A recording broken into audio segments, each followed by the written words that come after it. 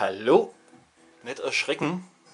Ne, da würdet nicht nur ihr wie die Ziege ins Uhrwerk reingucken, also wenn ich auf sowas das erste Mal stoßen würde. Aber wie immer im Grunde total einfach das Ganze. Es geht um Gleichspannungstrafos. Ne? Also hm, Trafos an sich ist ja schon mal eine schöne Erfindung. Sehe ich ja ein. Ähm, aber in Zeiten, wo man mit äh, ne, zurzeit noch Solar- und Windkraft-Energien äh, in so, unter anderem solche Bleigel-Akkus speichern, haben wir dann einen Haufen Gleichspannung zur Verfügung. Ja, und wie macht man aus der Gleichspannung jetzt wieder ordentliche, hohe Wechselspannung für solche Verbraucher wie zum Beispiel so eine, ich weiß nicht, ist das eine Kohlefadenlampe? Hm. War in einem alten Projektor eingebaut auf der Fassung steht drauf Narva 220 Volt und 500 Watt. Ne? Steht es hier? 220 Volt, 500 Watt. Hm.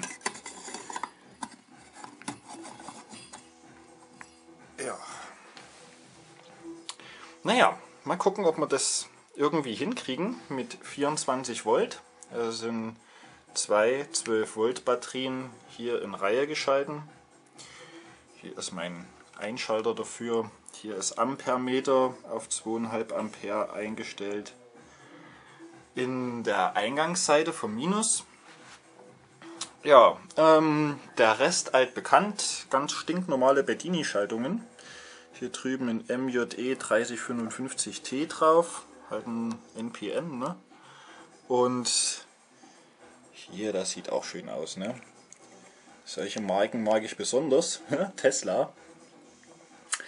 Ja, danke nochmal an äh, Triame. Funktionieren echt gut, die Dinge. Kann man nicht meckern. Ja, und dann daran angeschlossen einmal äh, so eine Spule. Ja, die sieht ein bisschen verworren aus, gebe ich zu.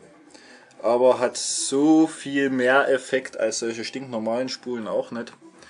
Ich glaube, da habe ich nicht, bestimmt zwei Wochen dran rumgebastelt. Das ein, ein Haufen flache Pancake-Holz übereinander.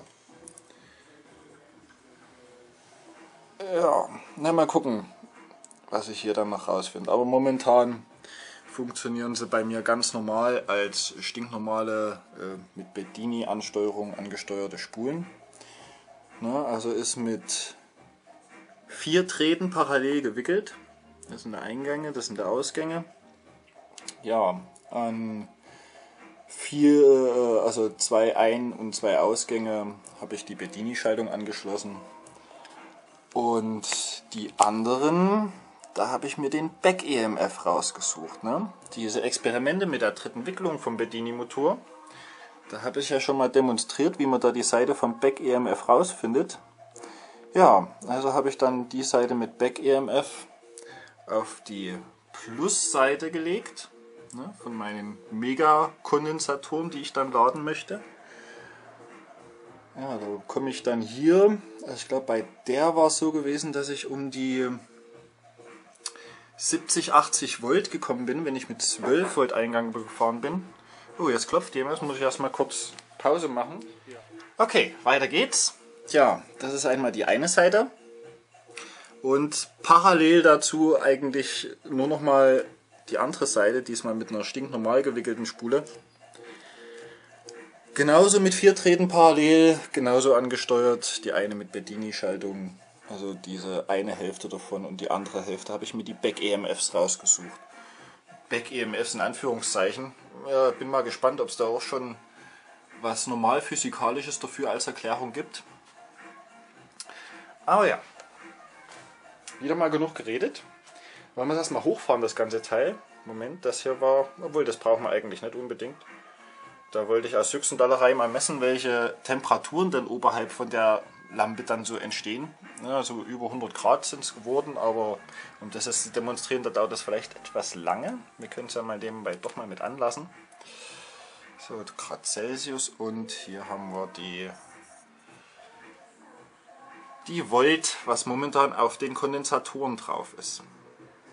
Ja, es sind immer noch 40 Volt drauf, wie wir sehen. Und dann brauchen wir einschalten das Teil. Und auf geht's.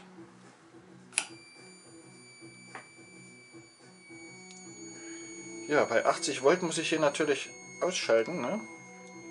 Haben wir schon 80? Jetzt haben wir 80. Okay. Mhm. Ja, leider blendet es jetzt durch die Lampe da. Nochmal bis auf 80 Volt kommen lassen. Ja, die Überspannungslampen von gehen schon an. Uh, jetzt haben wir schon 84 Volt, muss ich aufpassen.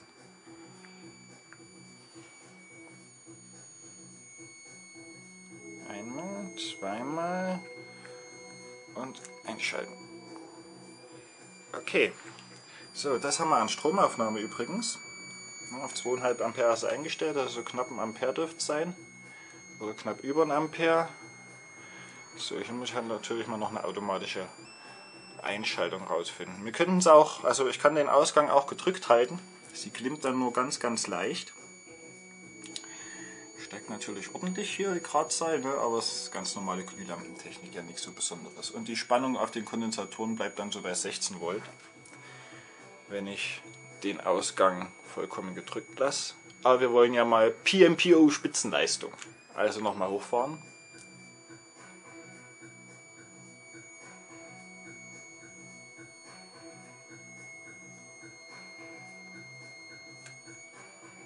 Okay, eins, zwei, drei, vier, fünf, sechs, sieben. Okay, also ungefähr alle acht Sekunden kann man komplett mal entladen. Hm. Ja, naja, so schon mal wieder mal nicht schlecht, oder? Was meint ihr?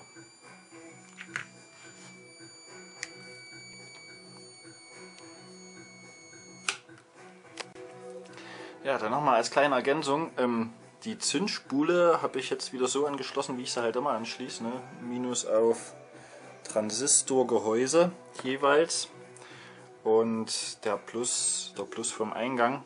Ja, weil sonst kriege ich meine Spulen irgendwie von Anfang an nicht in Selbstoszillation, komischerweise. Ohne Zündspule hat es bei mir bis jetzt noch nicht geklappt. Na, vielleicht habt ihr da andere Ideen.